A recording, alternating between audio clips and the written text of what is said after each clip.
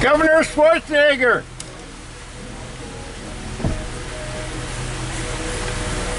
Are you going to vote for Nikki or Trump? Governor Schwarzenegger, are you going to vote for Trump or Nikki Haley?